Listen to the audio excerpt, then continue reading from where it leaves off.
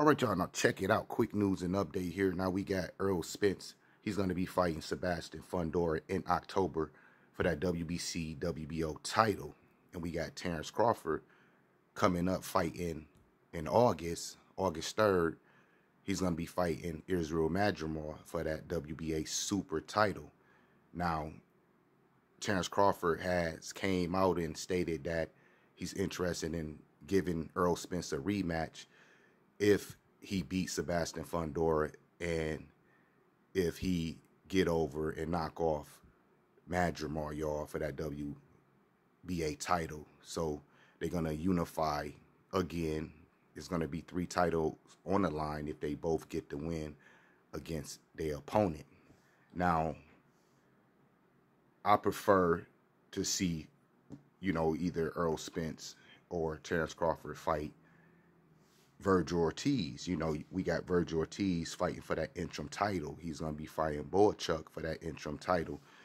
But is this an interim title? So, you know, most likely these guys going to unify because they got the, you know, main titles, you know, if they beat their opponent, if Errol Spence beat Sebastian Fundora and Terence Crawford beat Madrimov, they um most likely uh, um unify and avoid fighting um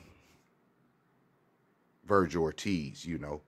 But we got to see what's going to happen. You know, anything anything can happen. Uh, Vergil Ortiz is ranked number one in that WBA sanctioning body. So if Terence Crawford do get that title from Madrimov, Vergil Ortiz will once again be his mandatory like he was the his mandatory um, in the 147 division, you know.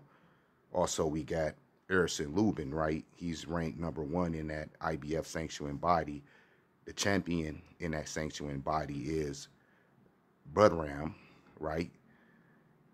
So, what's most likely what's most likely going to happen is if Errol Spence beats Sebastian Fundora, Terence Crawford beat Madrimov, they unify, right?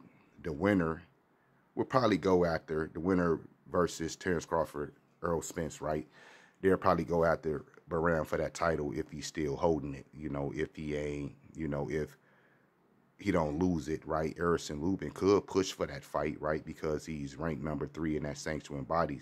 The number one and number two position, y'all, is basically vacant. You know, not rated. No, no one's there. So that make or that make um Erickson Lubin number one. You know, and also, you know, I did a I did a um video on, you know, maybe they'll probably match Vergil Ortiz and Erickson Lubin up. You know, I think that'll make sense and um it'll be a good fight, you know. But I just wanted to give y'all this quick news and update.